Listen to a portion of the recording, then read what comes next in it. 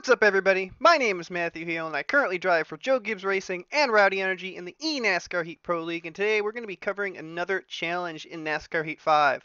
Today we're going to be covering challenge number 5, Rookie War. John Hunter Nemechek challenges you.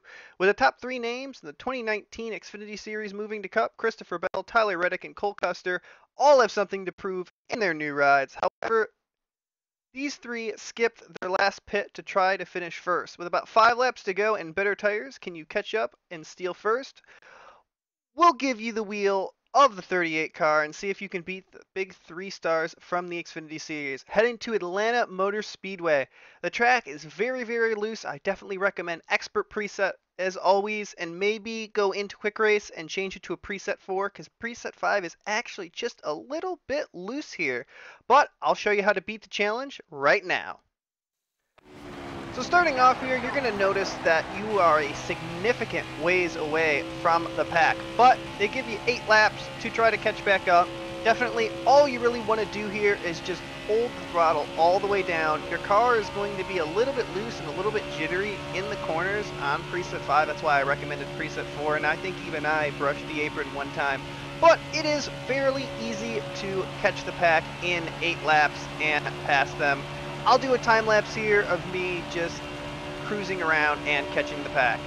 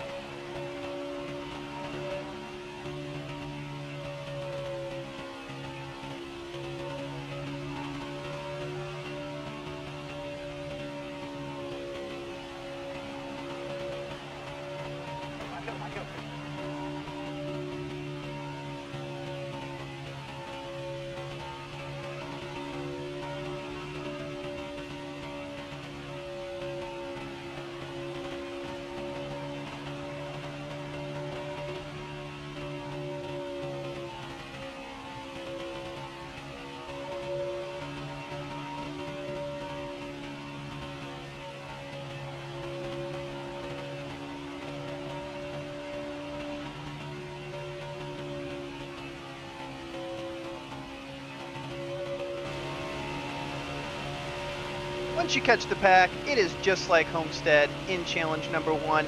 You just want to hold onto the outside going into the corner or on the straightaway. The cars will be very slow. You should catch them with about two laps to go, I would say, so you definitely have some time. You don't want to mess up and hit the rear bumper of the cars in front of you and maybe mess up your run. But this challenge is fairly simple. Like I said, all you got to do is hold the gas and you should be fine.